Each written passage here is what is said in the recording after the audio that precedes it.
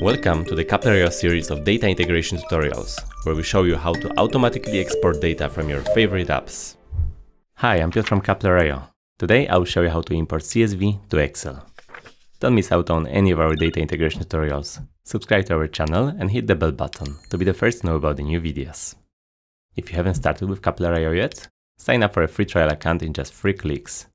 If you already have an account, sign in now. I will now set up a CSV to Excel importer. Click the Add Importer button. Select CSV as a source of your data. Then, pick Microsoft Excel as a destination. Click Proceed. Using Coupler.io, you can fetch any public or private CSV file to Excel. The best thing about it? The data will be refreshed according to your chosen schedule, and any changes made to the source file will be shortly reflected in your Excel workbook. In this example, I will be fetching data from a public weather dataset from Los Angeles that I can further analyze in Excel. Let's start by naming the importer. I'll go with LA weather. Next, I need to provide the CSV URL. I jump to my dataset and search for a file URL. data.world website provides an easy way to copy the URL. In other cases, you may need to copy the file download link from the address bar or find another way to collect it. Next, I paste the URL into the relevant field in Coupler.io and click Continue. The get method is most commonly used for collecting data, so I will leave this field as it is. If you're importing data from a private CSV file to Excel, you may need to provide a relevant authorization in the HTTP request header field. Since my file is public, I skip this field and do the same for the following fields. Let's jump to the destination settings.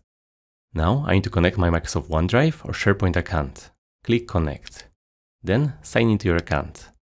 Back in Coupler.io, click Continue. Now, decide on a workbook to import the data to. Select it and click Open.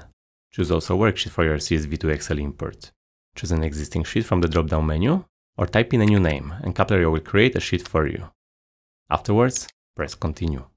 The last several settings are optional, and I will skip them. Press Continue. In the last stage, I will set up a schedule for an automatic data refresh. Switch the toggle on. I want my spreadsheet to update daily, Monday to Friday at 12 pm.